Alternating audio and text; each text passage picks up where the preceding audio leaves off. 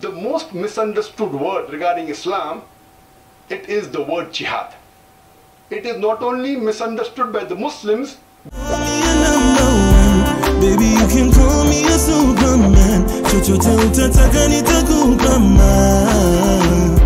Hey yo, what's up everybody? Welcome back to our channel. It's your boy Jessy Keegan and we are Fanny Jessy. So today we're gonna do another reaction video. But before we get into the reaction, guys, I wanna thank you so much for being part of this family right here. You guys are really amazing. Thank you for subscribing. Thank you for hitting that notification bell.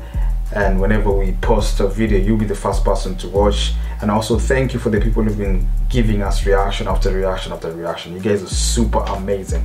So today we're gonna do a reaction video, and this right here is Dr. Zakir Naik talking about jihad, the most misunderstood word. And uh, yeah, so let's see, let's see why is it misunderstood. So without any further ado, let's get it.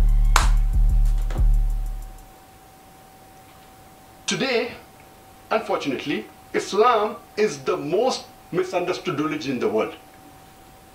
The religion which has the maximum misconception in the world today, it is Islam.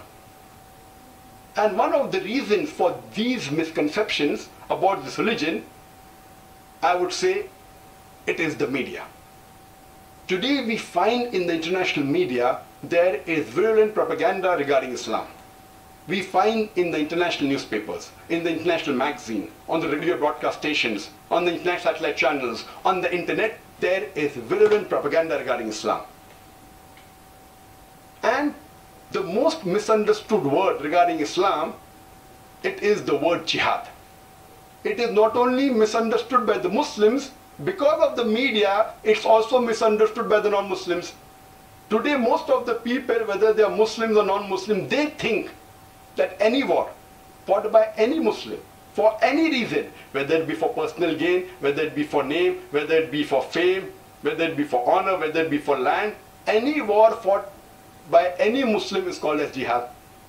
Jihad does not mean any war fought by any Muslim for any reason.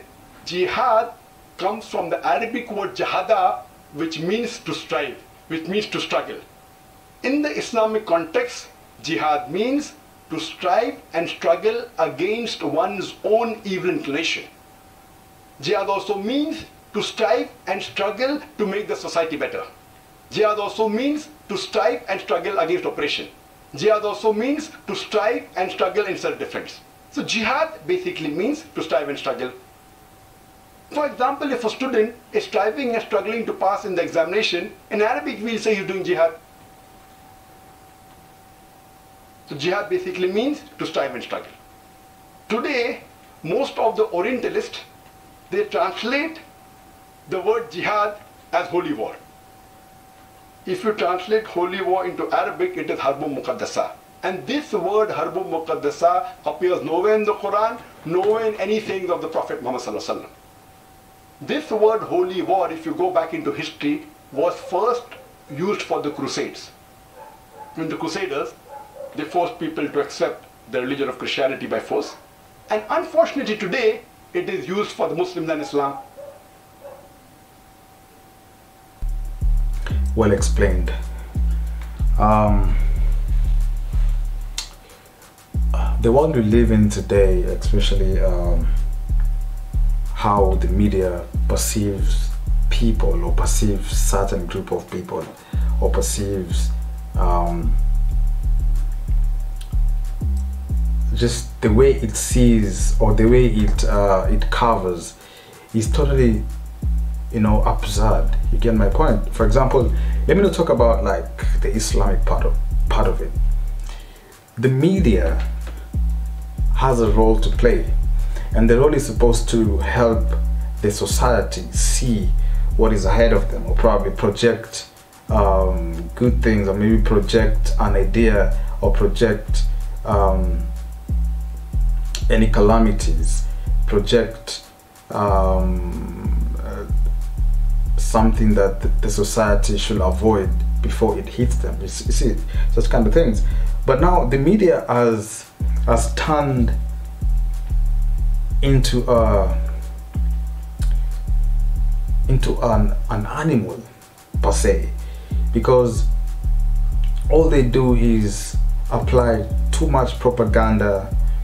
They apply falsehood. They apply um, what do you call um, there's even suppress informations. Uh, they don't give out the truth as it is as it is expected to, to be given out. The media has become a place of suppression or evildoers or whatnot. They are perceiving an illusion to the society where when you watch something on television, you think that that's exactly what is happening. But in the actual sense, probably that's not what is really happening. You get my point? For example,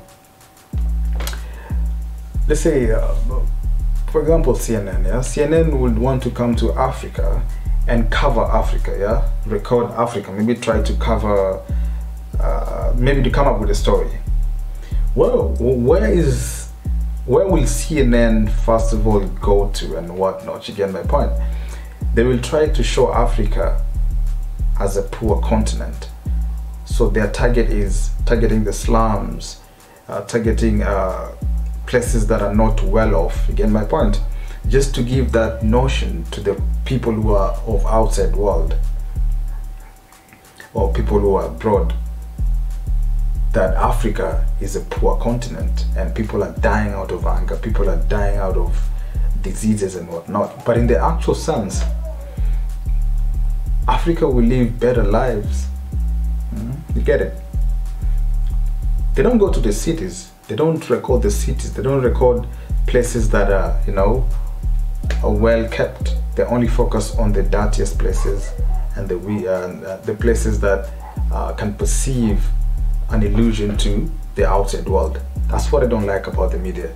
The same thing that it does to religion. For example, Islam.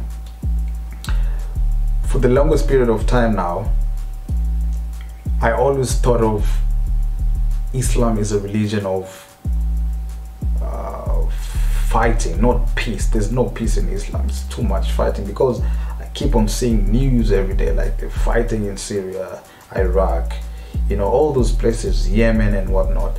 So I'm like, if this is a truly religion, why, why, why, why is it that people are just fighting each other? Why is this instead of just them staying in unity? But again, I came to realize that all these are orchestrated by the Western people and the media also, because media is also part and parcel of um, that fraternity. So they come up together, spice it a little bit, and then give give us uh, how we we we want it. You get my point? So when we look at what they've displayed in front of our eyes, we tend to believe that. We tend to take it with a very big uh, pinch. You get my point? With a very big, uh, with, with a grain, with a big grain pinch of salt or something. I don't know if that's the word or what. So when we do that, um, we actually deceive ourselves because the whole time, like for example, me, I thought that Islam is a religion of no peace. You get my point? But as I grew up, I understood that there are people who are against a certain group of people or a certain group of religion or whatnot or blah blah blah. You get my point? So I realized that in this world you need to acquire you need to acquire wisdom for you to start deciphering or decoding what is happening around the world. But again, when you look at the media, you, you, you realize that the media is just a product of of of derailment, a product of deceive. You get my point? So um, Dr. Zakir Naik is actually trying to tell us that I mean jihad is is the most misunderstood word.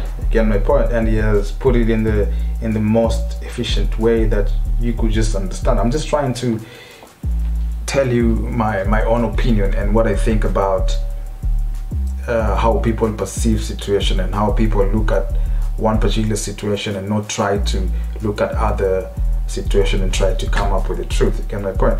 I mean, there are different type of stories. I mean, there are different sides of stories. There's this side and this side, and then now there's the truth, which comes in the middle after deciphering or maybe decoding.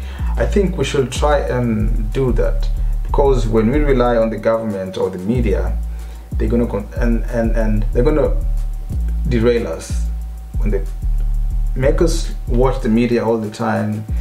They put our, our vibration low and we tend to have fear and whenever you have fear you're easily controlled or you're easily manipulated. So i think a lot of things in this world have been misunderstood. So many things so many things. Probably we were taught when we were young but when you grow up you realize that it has all been a lie. The whole time it has been a lie.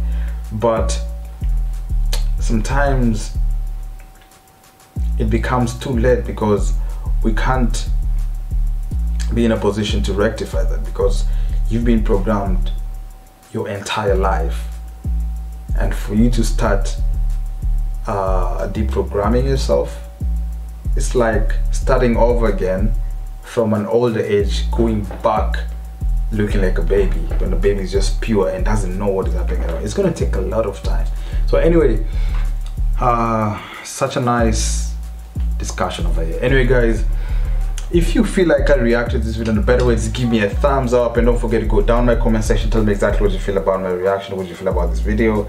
And the most important thing guys, don't forget to subscribe to my channel. They might keep on subscribing, they might give us the motivation to do a lot of videos and to give you better, better content.